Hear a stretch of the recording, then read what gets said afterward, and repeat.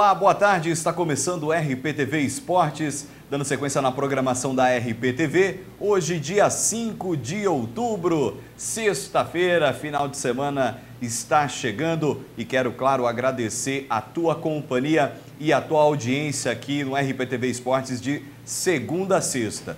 No programa de hoje, nós vamos trazer no destaque o empate do Cruzeiro contra o Boca Juniors ontem no estádio do Mineirão, que fez com que a equipe do Cruzeiro desse adeus à Taça Libertadores da América. Um jogo bastante acirrado, truncado e mais uma vez muito polêmico. Nós vamos trazer daqui a pouquinho para você os gols dessa partida e toda a polêmica envolvendo o Dedé, que foi novamente expulso no jogo de ontem no Mineirão. Ele que já havia sido expulso na partida lá na La Bombonera, acabou sendo absolvido pela má expulsão no jogo de ida contra o Boca. Jogou ontem contra a equipe argentina, esteve em campo no duelo e foi expulso novamente. Isso gerou muita revolta por parte de, dos jogadores,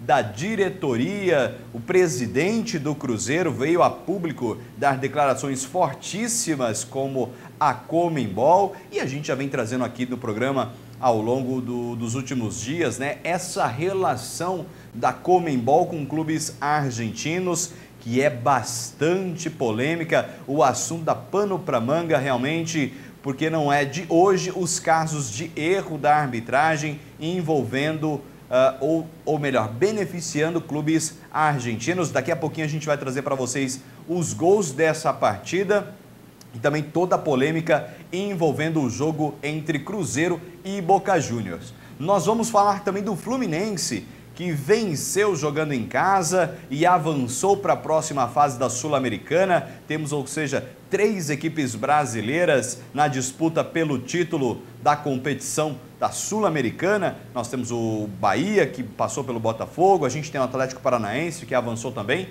e agora a equipe do Fluminense se junta a essas duas equipes na próxima fase, fase de quartas de final da Copa Sul-Americana. Nós vamos falar também de campeonato da Série A e Série B, em função das eleições que acontecem no domingo. Não teremos rodada dos campeonatos aqui no, no, da Série A e da Série B e também das outras divisões nacionais. Todos os jogos acontecerão hoje e amanhã. Então nós temos começando, abrindo a 28ª rodada do Campeonato Brasileiro da Série A. Nós já temos jogos hoje, nós vamos trazer para vocês quais são os duelos de hoje e tem também Série B. O Guarani tem a chance hoje de entrar no G4 pela primeira vez. Vai ter que vencer e contar com o tropeço do Havaí que joga em casa contra o Boa Esporte. Daqui a pouquinho também a gente vai trazer o destaque dessa partida. E hoje, sexta-feira, é dia de trazer os melhores memes da semana para você que nos acompanha nesse clima de final de semana, poder se descontrair, poder dar risada e ver aquilo que viralizou na internet, os melhores memes da semana, tá certo? Daqui a pouquinho a gente vai trazer aqui no RPTV Esportes. Vamos começar com o Fluminense, que venceu o jogo de volta da Sul-Americana e garantiu vaga nas quartas de final da competição. Vamos aí aos gols dessa partida. O jogo foi realizado no Morumbi. O Fluminense, que já havia vencido o jogo contra o Desportivo Cuenca lá, fez o mesmo placar, fez 2 a 0. O jogo de volta era também bastante confortável para a equipe do Fluminense. A expectativa é que a equipe não tivesse aí nenhuma surpresa, nenhuma dificuldade para avançar de fase. Mas como a gente sabe, né, o futebol é uma caixinha de surpresa, o Fluminense tinha que entrar ligado no jogo e foi isso que o tricolor carioca fez.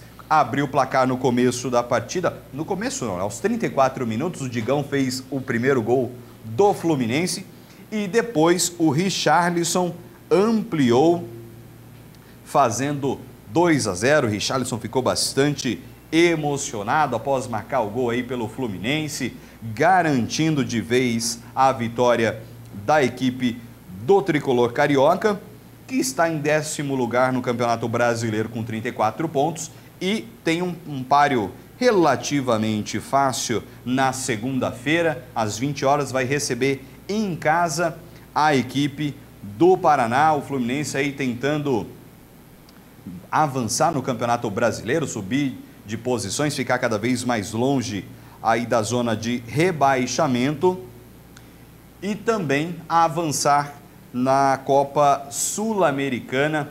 Parabéns aí à equipe do Fluminense que garantiu vaga na próxima fase da competição. Agora a gente vai falar de outro jogo da Sul-Americana.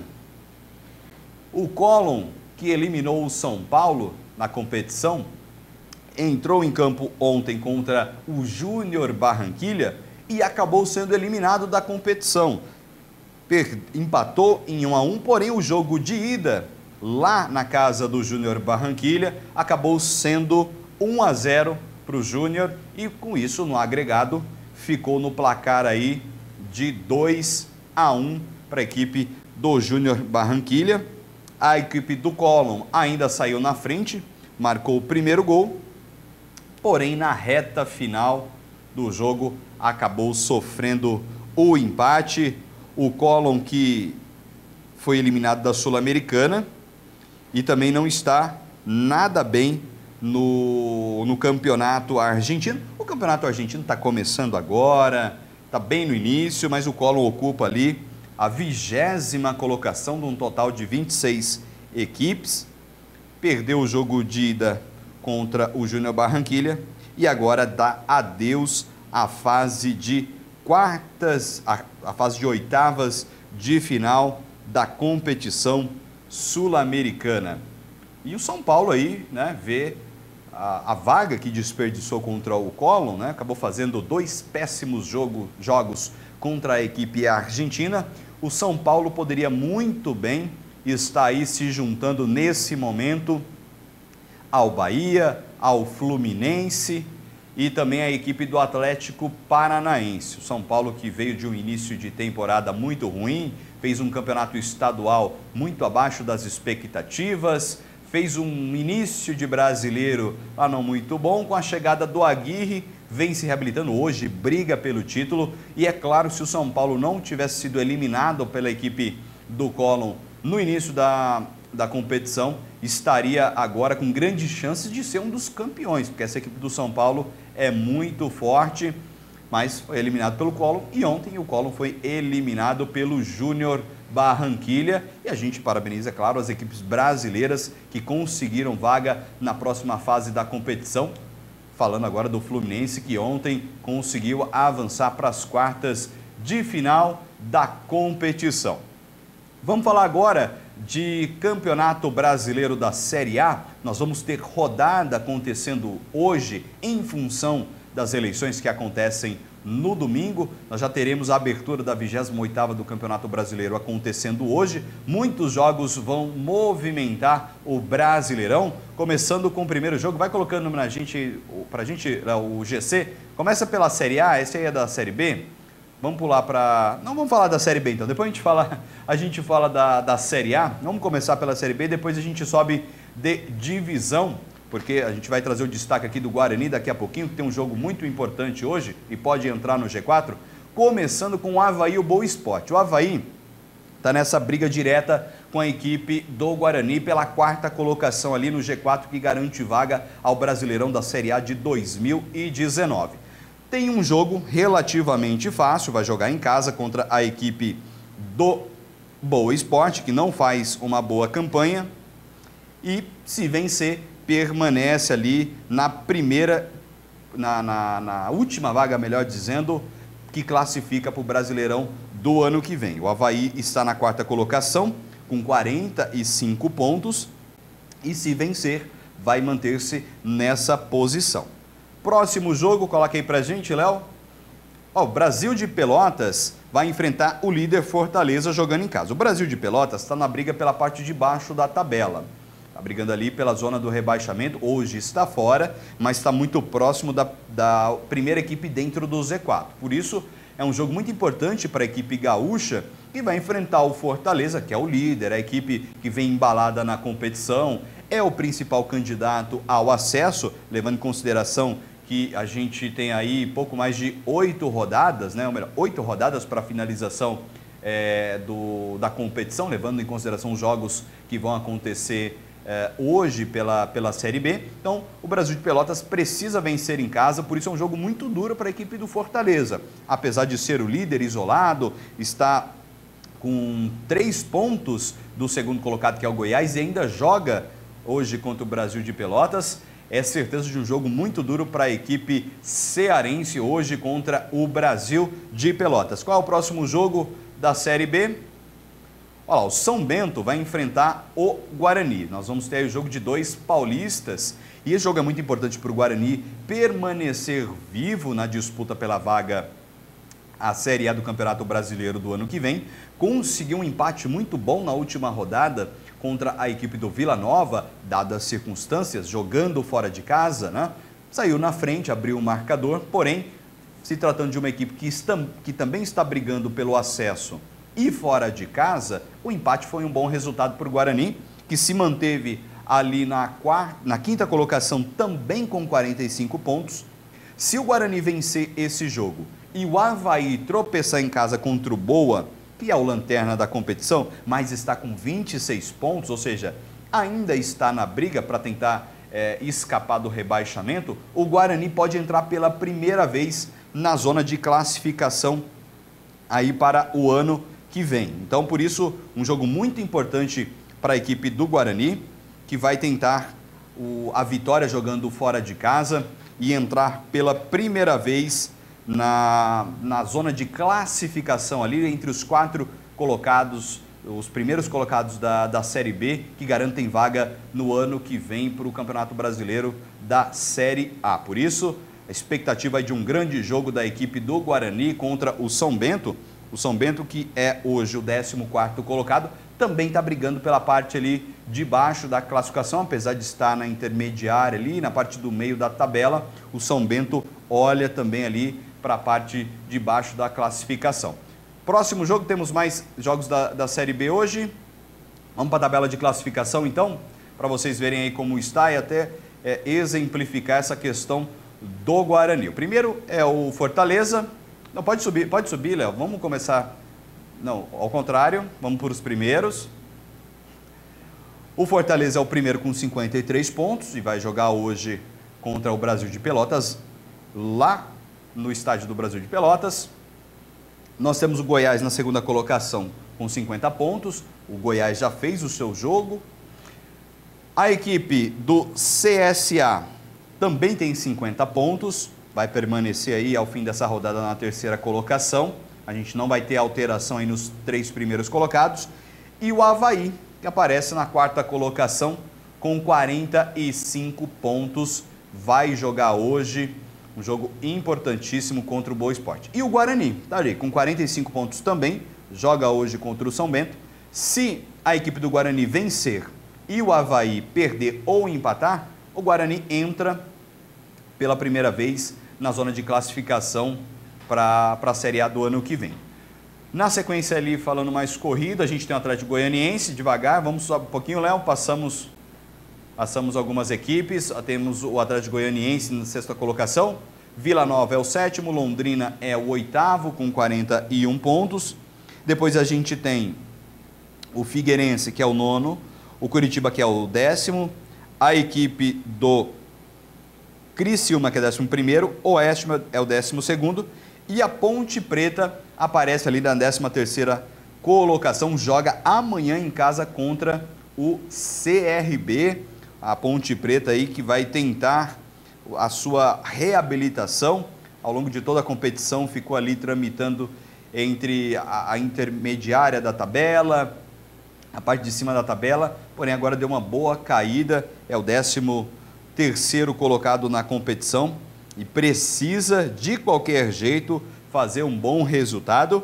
E isso que vai e, esse jogo que vai marcar a reestreia do Gilson Kleina no comando do, da Ponte Preta.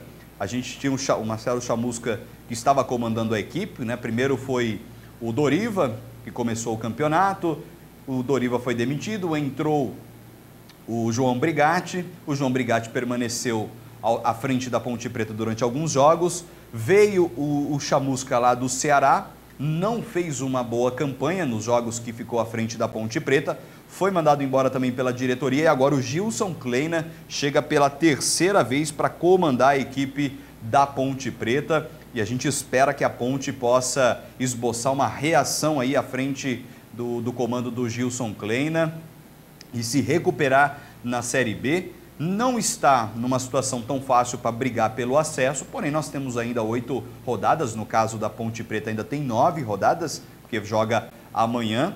Claro, se embalar numa sequência de vitórias, pode se aproximar dos líderes e pode voltar a brigar também pelo acesso à elite do futebol nacional. Lembrando que a Ponte caiu o ano passado do, do Brasileirão da Série A para a Série B. Seguindo a classificação, a gente tem o São Bento, que faz o jogo de hoje contra a equipe do Guarani.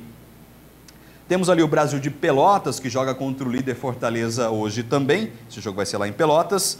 O Juventude é o 16 com 32 e a primeira equipe fora da zona do rebaixamento.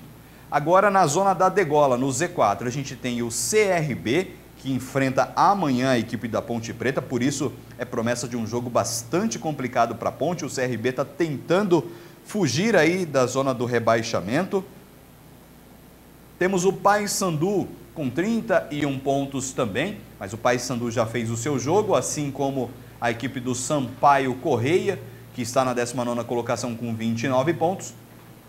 E na lanterna a gente tem o Boa Esporte, que está com 26, mas ainda vai jogar contra o Havaí, por isso que eu disse que é um jogo muito difícil para o Havaí, mesmo jogando em casa contra o Lanterna, porque se o Boa consegue um resultado positivo, ele já empata ali com o Sampaio Correia e dependendo do saldo de gols que fizer contra o Havaí, pode até jogar a equipe do Sampaio Correia para a Lanterna e o Boa conquistar aí pelo menos um, um uma posição na tabela de classificação, por isso é promessa de um grande jogo, um paro difícil para a equipe do Havaí e a oportunidade do Guarani entrar pela primeira vez aí no G4 do Campeonato Brasileiro da Série B. Tá certo? Esses são jogos que acontecem aí pelo Brasileirão da Série B. A gente está sempre acompanhando aqui as equipes de Campinas, né? O Guarani, a Ponte Preta, tem outras equipes paulistas também, o Oeste, o São Bento, que estão na, na disputa da competição. A gente torce para que as equipes possam desempenhar o seu melhor futebol e conquistar os resultados positivos na competição. Vamos falar agora de Série A do Campeonato Brasileiro, que tem jogos hoje também acontecendo. Já vamos colocar aí na tela para a gente, Léo, aqui, o GC dos jogos que acontecem hoje pelo Campeonato Brasileiro da Série A. Começando pelo grande clássico das maiores torcidas do nosso país, a gente tem o Corinthians enfrentando a equipe do Flamengo, as equipes que vão fazer também a final da Copa do Brasil desse ano, né? ou melhor, fizeram a semifinal da Copa do Brasil desse ano. O Corinthians levou a melhor frente à equipe do Flamengo e agora se enfrentam pelo Campeonato Brasileiro. O jogo acontece hoje às 21 horas. O próximo, esse é o outro jogo que estava faltando da Série B. O Coritiba vai enfrentar a equipe do Juventude. Esse é outro jogo da Série B. Vamos para o próximo jogo, que agora vai ser da, da Série A. O esporte vai receber em casa a equipe do Internacional.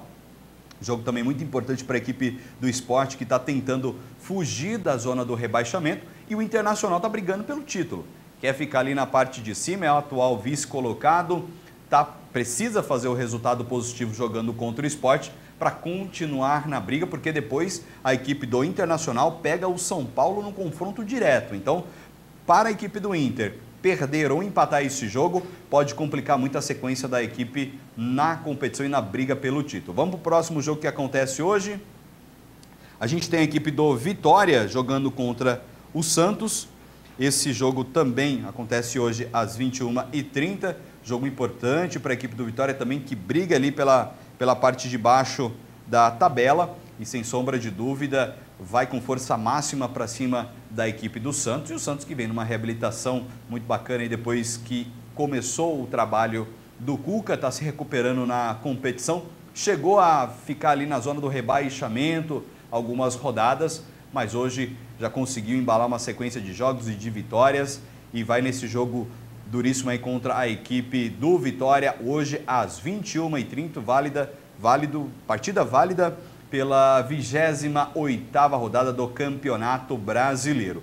Eu vou para um rápido intervalo e na volta a gente vai falar do empate do Cruzeiro contra a equipe do River Plate, que garantiu a classificação da equipe argentina para a próxima fase da principal competição sul-americana, tá certo? Fica ligadinho aí que daqui a pouquinho nós estamos de volta com RPTV Esportes. Você gosta de café? Que bom! Agora imagine um café cultivado a mais de 1.200 metros de altitude, no coração das montanhas de Minas um café especial, colhido na hora certa, torrado no ponto certo, mantendo todo o aroma e paladar de um verdadeiro café arábica. E o melhor, orgânico, sem nenhuma gota de agrotóxico, 100% natural e que você não encontra em qualquer lugar. Esse é o café Ibiporá. Vale a pena experimentar.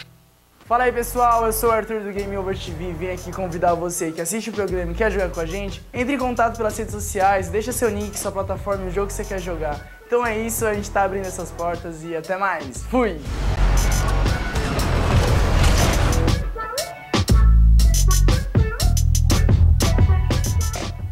Na loja Nossa Casinha você encontra tudo o que há de melhor para sua casa. Qualidade, bom atendimento e preço baixo de verdade.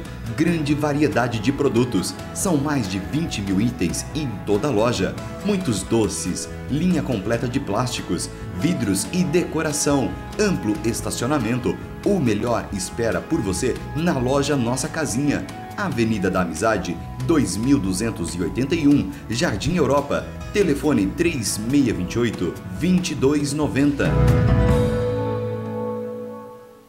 Lucas Feitosa, o shopping da pesca, iscas vivas e muito mais.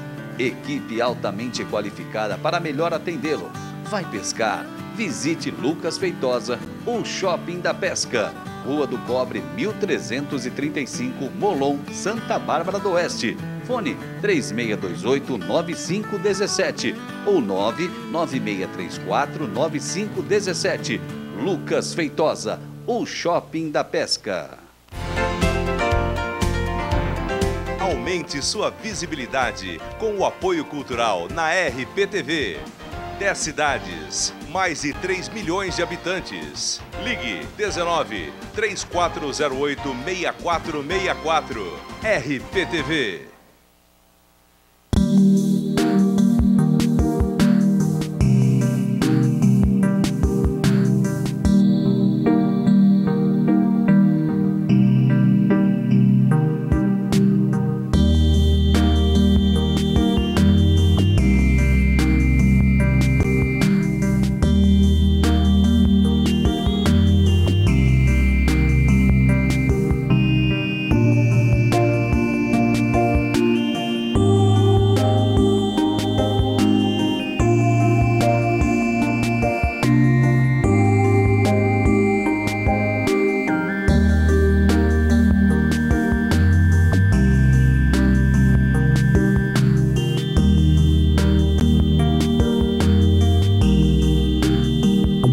Você que está assistindo agora a RPTV. Eu tenho um recadinho importante para você. Estou aqui na Impacto Prime. A Impacto Prime trabalha com alinhamento, balanceamento, troca de pneu, troca de óleo.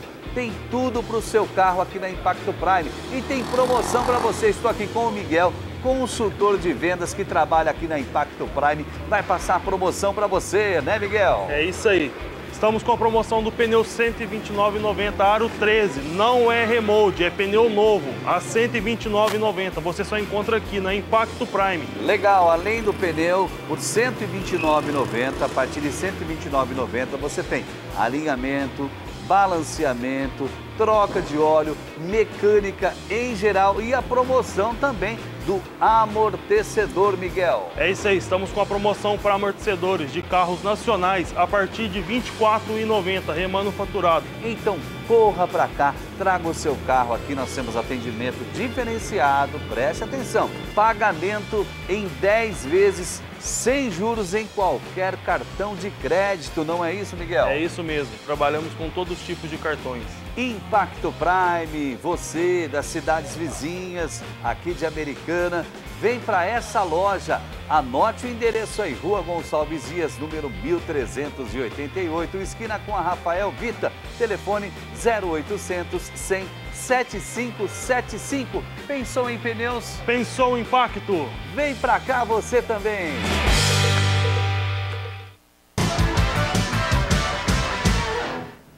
Estamos de volta com o RPTV Esportes e já vamos comentar um jogo que acontece amanhã, um jogo festivo entre as equipes de o futebol de amputados de Araras, né? Vai ser em Araras o jogo e vai ser entre Ponte Preta e São Caetano.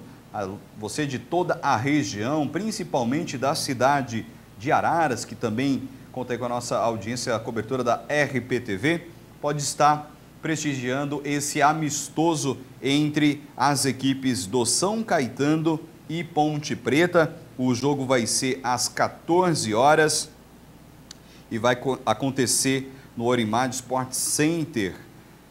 A entrada para o jogo vai ser apenas um quilo de alimento não perecível e que depois vai ser encaminhada à paróquia Santa Terezinha, lá em, em Araras, né? Por isso, você de toda a região, que pode ir lá acompanhar amanhã a partir das 14 horas, tem esse jogo amistoso do futebol de amputados entre a equipe do São Caetano e também a equipe da Ponte Preta. Você de Araras principalmente vai estar mais próximo, pode ir lá acompanhar. Esse jogo vai ser no Orimad Sport Center e também de toda a região. Araras está muito próximo aqui da gente. Dá para ir lá conferir, acompanhar esse amistoso entre a equipe do São Caetano e da Ponte Preta do futebol de amputados, tá certo? Vamos falar agora de Taça Libertadores da América. O clima já era muito quente antes de começar a partida, por conta de toda confusão, vamos dizer assim, que aconteceu no jogo de ida lá em La Bombonera e também por tudo que se desenrolou ao longo da semana. A questão do efeito suspensivo, o Dedé foi expulso, mas foi absolvido, pôde jogar a partida de volta. A expectativa era muito grande, a equipe do Cruzeiro e os seus torcedores muito embalados e confiantes para essa grande decisão, mas acabou dando boca, empate em 1 a 1 no jogo de ontem no Mineirão. Vamos aos gols da partida. A nação cruzeirense ainda ficou muito empolgada depois do primeiro gol marcado pelo Sassá logo na volta do, do segundo tempo. E depois, já na reta final do, da partida, o Pavon acabou marcando aí o gol da equipe do, do Boca Juniors. Como o jogo de ida havia sido 2 a 0 para a equipe argentina, o Boca Juniors avançou de fase no agregado, ficou o placar de 3 a 1. Coloca os melhores momentos aí da partida, enquanto a gente vai comentando, porque esse jogo realmente repercutiu muito ao longo, como eu disse, de toda a semana, por tudo que aconteceu, mas em campo a coisa esquentou para valer. O Egídio, nós trouxemos no programa de ontem, já tinha dado uma declaração muito mal colocada, a gente até brincou aqui, o Barbosa falou sobre isso, né? É, o, jogador ele não pode ficar provocando, fazendo é, declarações polêmicas para um jogo decisivo, porque nunca se sabe o que pode acontecer dentro de campo. O, a equipe, o, ou melhor, o Egídio havia falado sobre a equipe do, do Boca Juniors que nesse jogo de volta iria fazer uns 4 a 0. Né? A gente está vendo aí agora o gol do Barcos no, no finzinho do primeiro tempo que foi anulado. Né? Muita reclamação por parte dos jogadores do, do Cruzeiro, alegando que o goleiro foi atrapalhado ali pelo Dedé, mas a gente viu que não foi nada. O, o goleirão passou batido no lance, né? espalmou mal a, a bola que sobrou para o Barcos e fez o gol. Mas outro lance capital da partida foi no segundo tempo, onde o Dedé, numa disputa ali boba do meio de campo, os climas estavam já exaltados, e o Dedé foi numa disputa com o Pavão, acabou pisando no, no jogador e foi expulso. Aí gerou toda a confusão e toda a bagunça. Teve confusão dos jogadores dentro de campo que reclamaram bastante. O Egídio veio a público falar né, da, da questão do que o, o árbitro disse para ele dentro de campo, dizendo que a equipe do Cruzeiro perdeu porque era ruim. O presidente do Cruzeiro veio a público a, a, com vários palavrões, né? É, falar dessa arbitragem polêmica. A gente está vendo aí o lance da expulsão do Dedé. O Dedé, eu acho que ele perdeu um pouco a cabeça, né? Ele não precisava é, ter ido com tanta força no lance, né? Não era um lance, é, não foi um lance de agressão, mas o Dedé já tinha um cartão amarelo. E o que aconteceu? O árbitro deu o segundo amarelo e expulsou o Dedé. Eu acho que a expulsão do Dedé de ontem foi correta. Ele foi muito afoito na jogada, acabou acertando o jogador do Boca Juniors, já tinha um amarelo, foi expulso. Fato é, quando o Dedé foi expulso, o, o Cruzeiro ficou desestabilizado. O Dedé foi expulso faltando uns 10 minutos para acabar o jogo. E aí a equipe do Cruzeiro ficou um pouco sem chão, não conseguiu fazer o segundo gol e acabou sofrendo o gol de empate no finzinho da partida é, pelo, pelo Pavão. Mas gerou muita briga. O auxiliar do Boca Juniors falou do, do Mano Menezes, falou que o, o técnico no Mano não soube é, ganhar e que não, isso não era um problema do, do Boca Juniors. E uma outra nota interessante é que o próprio é, jornal argentino, o Olé, ele é, falou dessa questão da polêmica da arbitragem e viu sim que o Cruzeiro foi prejudicado pelo árbitro da partida de ontem. Teve esse lance do, do gol do Barcos, teve um pênalti que o, a equipe do Cruzeiro também reclamou bastante. A expulsão do Dedé é cabível de interpretação, né? porque o Dedé vai um pouco afoito ali na, na jogada, então, o árbitro entendeu que ele foi um pouco mais firme do que deveria, já tinha amarelo, acabou expulsando. A gente está vendo aí o lance do, do pênalti, né? Que, que rolou muita reclamação. Enfim, a arbitragem da Comebol já está dando mais, está dando pano para manga, está errando demais. É hora de alguém tomar alguma providência, porque a equipe entra no campeonato, faz o investimento, tem todo um trabalho que pode ser desperdiçado por conta de um erro grotesco, né? E a gente não está vendo um erro ou outro da, dos árbitros aí das competições da, da Comembol, principalmente da Libertadores. A gente está vendo erros é, é, é, é, diretos, corriqueiros, né? E sempre erros é, é, muito grotescos. Então, algo tem que ser feito.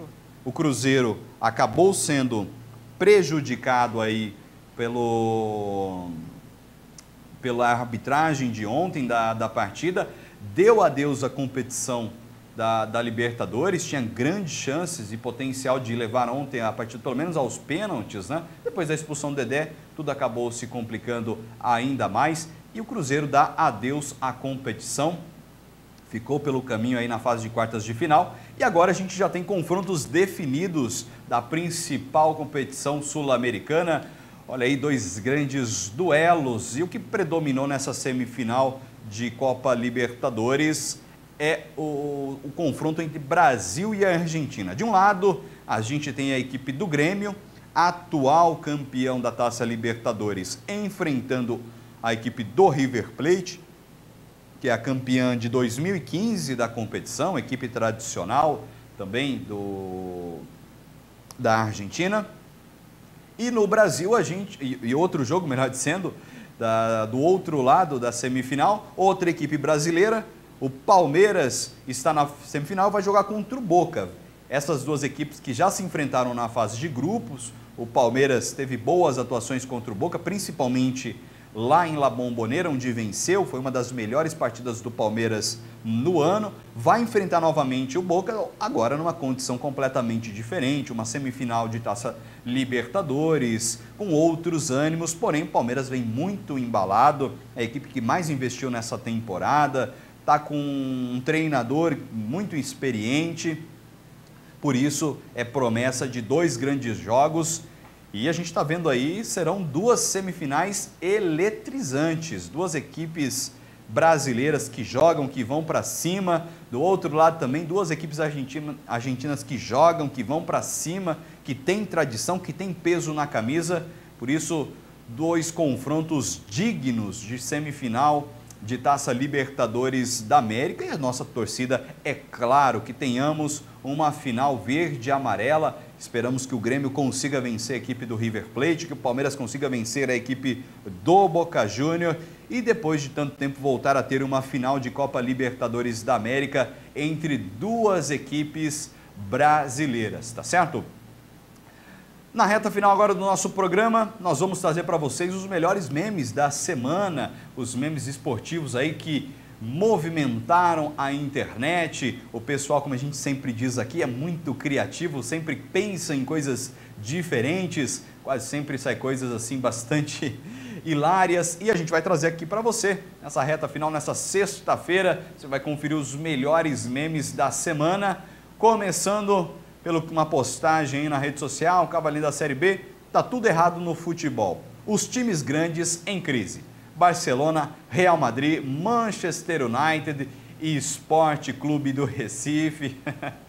Brincando ali, tem um cavalinho com, com a camisa do esporte, fazendo menção aí a uma brincadeira com a equipe do, do Esporte Recife, que entra no, falando a título nacional, não desmerecendo a equipe do esporte, longe disso, que é uma equipe muito tradicional do futebol brasileiro, uma das principais camisas do futebol pernambucano, mas o esporte já há muito tempo vive nessa gangorra Série A, Série B. O pessoal fez aí uma, uma brincadeira, o esporte esse ano não vem bem, está brigando ali pela parte de baixo da, da tabela, e aí o pessoal aproveitou para fazer uma brincadeirinha também com a equipe do Esporte Recife. O Esporte Recife que é o vice-lanterna hoje, está na 19 colocação com 24 pontos. Próximo meme na tela. Olha lá, debate sem Bolsonaro e Daciolo é igual a Argentina e Portugal sem Cristiano e Messi. o pessoal aí fazendo uma brincadeira com o último debate que teve ontem para os candidatos à presidência da República fizeram uma brincadeira aí, fazendo menção a dois personagens que estão na disputa presidencial, personagens mais caricatos, né? tanto da, quanto o Bolsonaro quanto o Cabo da Ciolo. E aí o pessoal fez essa brincadeira com o futebol, falando que Argentina e Portugal sem Cristiano Ronaldo e Messi acaba sendo um jogo sem graça. Próximo meme na tela. Olha lá, esse eu achei Esse foi muito criativo da parte do pessoal lá do Bola Fora. Dedé conseguiu ser expulso na partida de ida e na volta também. Nem Felipe Melo conseguiu esse feito na carreira e ficou com inveja. Realmente, acho que eu não me lembro de outro caso similar a esse, em que um jogador é expulso duas vezes num confronto de mata-mata. O Dedé foi expulso no primeiro jogo lá em La Bombonera, ganhou o efeito suspensivo, jogou ontem no Mineirão e foi expulso de novo. Inclusive, o Dedé falou que ele, tá, ele ficou um jogador marcado, né? Ele falou aí que o lance da expulsão é porque ele ficou marcado, por conta de tudo que aconteceu, da reviravolta na, na expulsão. Mas fato é que o pessoal fez uma brincadeira aí com o Felipe Melo, que tem essa característica aí, já também ficou um jogador marcado por ser um pouco mais firme nas jogadas, um pouco mais agressivo em alguns momentos, vamos dizer assim. O Dedé conseguiu ser expulso em duas partidas de ida e volta, feito inédito aí, conquistado pelo Dedé, que pela brincadeira que o pessoal fez aqui, causou uma certa inveja no Felipe Melo. Vamos para o próximo meme na tela. Esse aí é para boleirada. O pessoal, os boleirões de plantão, chega de escanteio curto, ninguém gosta. O zagueiro vai para a área para cabecear a bola e o cobrador faz o, a cobrança ali curtinha, né? não joga na área, os zagueiros quase sempre ficam bastante irritados. Vamos partir para o próximo. Coloca para a gente já, Léo, para a gente encerrar a tabela, a classificação da zoeira, é isso mesmo. 27 rodada, a gente vai já mostrar para encerrar aqui o nosso programa a tabela de classificação, a classificação da zoeira que a gente está sempre trazendo aqui para vocês, os 10 primeiros para a gente fechar aí o, o programa de hoje. O primeiro, ali o Palmeiras na ponta da tabela. E o pessoal colocou o nome aí, gemidão do WhatsApp. Não está perdoando ninguém. Realmente o Palmeiras está fazendo uma grande campanha. Segundo lugar, o Internacional. que é o inocente preso, foi salvo pelo juiz, falando do erro da arbitragem no último jogo do, do Inter de Porto Alegre. Terceiro lugar, São Paulo, Flanelinha, guardou a vaga para o Verdão. Quarto lugar, o carro de pobre, está andando muito e só na reserva. Quinto lugar, o Flamengo. Meu álbum do Cheirinho 2018 está quase completo. Essa também é muito boa, fazendo uma brincadeira com a equipe do Flamengo. Sexto lugar, Atlético Mineiro. Sniper. Sniper atleticano. Ataque fatal. Sétimo lugar, nós temos a equipe do Santos. Ou melhor, sétimo lugar, nós temos o Cruzeiro. Escola de boxe do Mohamed do Mohamed Salah, fazendo menção da agressão aí do Salah ao, ao Mike. Oitavo lugar, o Santos, velhinho, precisa de ajuda dentro de casa. Nono lugar, o Corinthians, só cumprindo tabela, vem Copa do Brasil. E décimo lugar, o Fluminense, o Mônica, foi maltratada pelo Cebolinha. Bem criativa aí a escalação da zoeira, 27 rodada do Campeonato Brasileiro. Meio-dia e 42, explodiu o nosso tempo. Quero agradecer muito o pessoal pela sua audiência, mais uma semana que chega ao fim. E nós temos um encontro marcado na semana que vem, segunda-feira, a partir do meio-dia. Nós vamos estar aqui dando sequência na programação da RPTV e trazendo destaque para encerrar o programa de vez. Domingo é dia de eleição, faça cumprir o seu dever como cidadão, vá votar e decidir né, o destino do nosso país, o futuro do nosso país na mão dos eleitores brasileiros, que começa agora no domingo, tá certo? RPTV Esportes está chegando ao fim, mas como eu já disse, segunda-feira nós estamos de volta a partir do meio-dia, dando sequência na programação da RPTV, tá certo? Bom fim de semana a todos!